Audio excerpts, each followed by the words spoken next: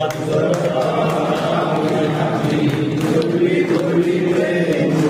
you.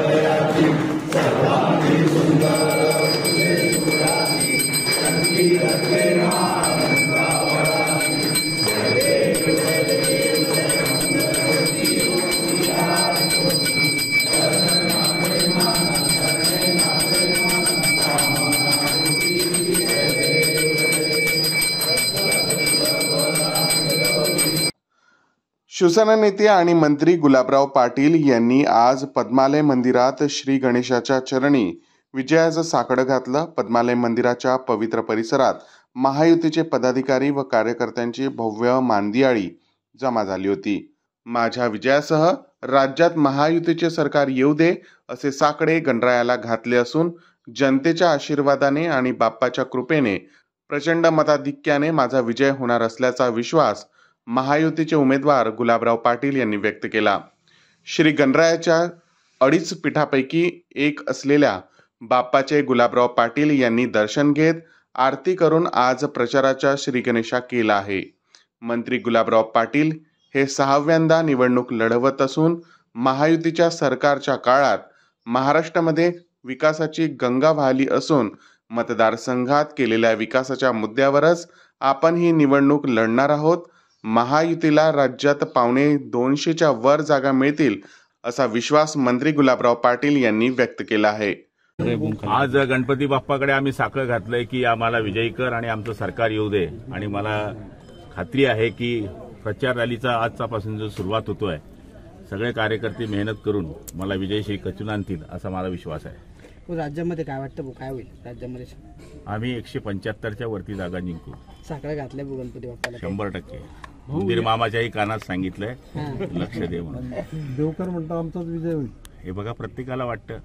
माझ्या त्यांना शुभेच्छा आहे. या पावनभूमीमध्ये भीमाने बकासुराचा वध केला होता भाऊ काय सांगाल?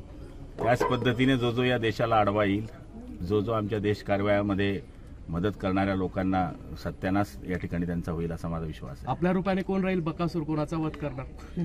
जो देशाच्या विरुद्ध काम करतो जो राज्याच्या विरुद्ध काम करतो जो धर्माच्या विरुद्ध काम करतो त्याचा वध होईल. हो का काल देवकर बोलले की जनता वैतागली आहे, त्याच्यामुळे जनतेला परिवर्तन हवंय मतदारसंघामध्ये असं बोलले देवकर. चोवीस तारखेला पाहिलं ना त्यांनी जनता किती वैतागली होती. बॉम्ब बॉम्ब भरायला चोवीस तारखेला फार जनता वैतागली होती म्हणून आली होती. धरणगाव मतदारसंघामध्ये सर्वाधिक दोन नंबरचे धंदे चालत असल्याचा दावा यांनी केलेला आहे आणि त्याचा आशीर्वाद तुमचा आशीर्वाद असल्यामुळे ते चालत आहेत असं देखील देवकर म्हटले बघा विरोधकांनी माझ्यावर टीका केली नाही तर असं कसं होईल? त्यांनी त्या माझ्यावर टीकाच केली पाहिजे ना. त्यांच्या टीकेचा मी खूप पद्धतीनं स्वागत करतो.